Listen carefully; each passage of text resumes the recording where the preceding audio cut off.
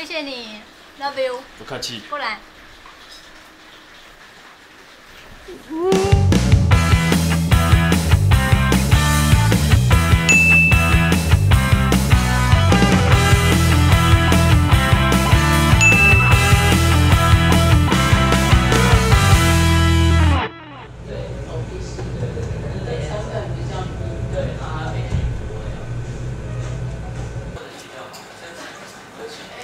嗨，大家好，今天呢，我要帮六一煮红豆汤，因为他最近呢月经刚来，然后这个礼拜呢过得非常的不舒服，因为他同时生了好几种病，就真的很惨，所以我决定呢趁今天放假呢来帮他煮一碗温暖的红豆汤。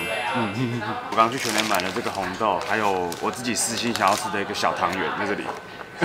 我现在就是想要在红豆汤里面加上这个汤圆，因为他平常很喜欢吃汤圆啊，所以我就觉得。好，不然我想吃，他也想吃，哎，他不知道想不想吃，反正我想吃啊，所以我就直接买了。我的方法呢，就是把红豆放到电锅里面，然后加一堆水，重复的焖煮过，让它变烂，这样就可以有一碗好喝的红豆汤了。大概是这样吧。我看网络的教学就是这么简单。好，那我们现在先去把红豆给煮开。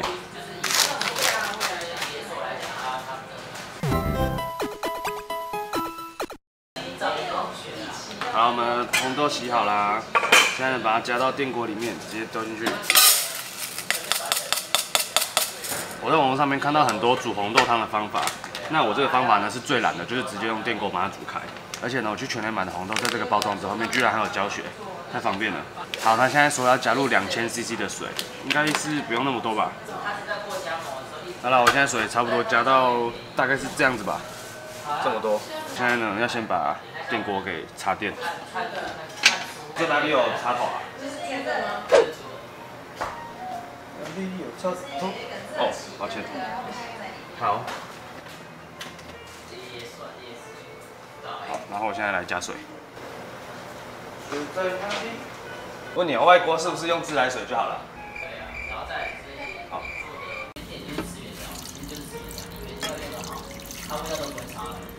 现在水呢已经加进去了，我们要把它开启电源。接下来呢，就是等它跳起来之后，然后再慢慢的重复这个动作三次，这样子红豆就会在我们预期之中变软、变浓、变绵，好不好？好，那我们就等它一下。A few moments later，嗨，各位，已经过了一个小时了，他连第一次都还没跳起来。那我刚刚就跟我姐说啊，为什么他那么久？他说呢，你不是加两杯水吗？对，然后我是加这么大的两杯水，我那时候不知道，因为他们说要用加米的那个容器去装两杯水。他说我这个大概已经有两杯到三杯超过了，就是超过那个原本应该有的量了，所以我们决定要把它打开来试试看。它现在是一颗一颗的状态，就是很硬，然后我不知道里面的水有没有很多，所以我等下请我姐姐帮我看一下，因为我好像有点生活白痴的样子。好，好惨。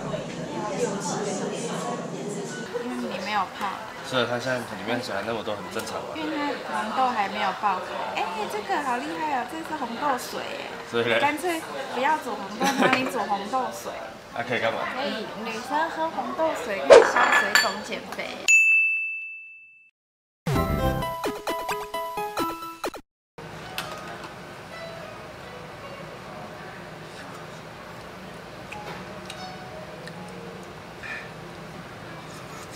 好了，现在我已经把水装满了。我姐刚刚说煮汤圆要把水先煮开，才能把汤圆丢下去。好，那我们煮完，我们再把汤圆放进去，先这样。汤圆已经煮好了，加点冰块才会 Q Q 的。冰块水都已经沥掉了，那直接把整碗加到红豆汤里面，放进去喽。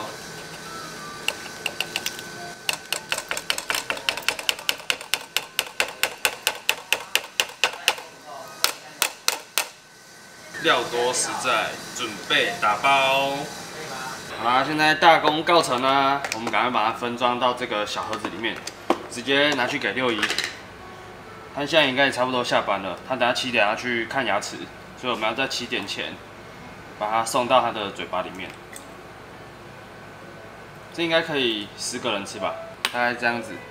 哇，里面都是汤圆的，再捞一点给他好了。以前都只有煮汤而已，现在是有加汤圆。好，去找他。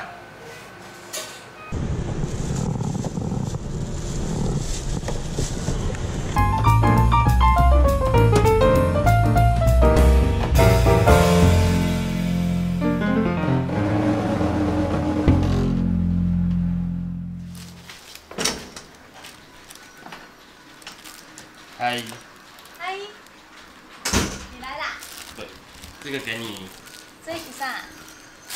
这啥？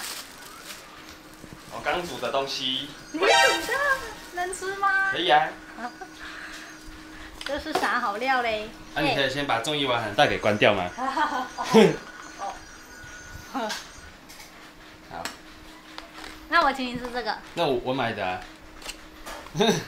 这个是我买的，哦，好事多的沙拉很好吃哦，好的，大家可以去买。那个更好吃了。这是什么啊？打开会有六年前的回忆。对，六年前的回忆，嗯那应该就是红豆汤了吧？这次有进化啊。红豆汤吗？哦，哇，看，这是进化了，挖一边的，有汤圆。真的耶！哇哦，你自己煮的吗？对。啊，真的吗？这么厉害？对还是你妈妈煮的？我自己煮的你，妈妈煮的？我自己煮的，你姐姐煮的？我自己煮的，我姐姐有帮忙。那我知道意思了，应该是你姐做的。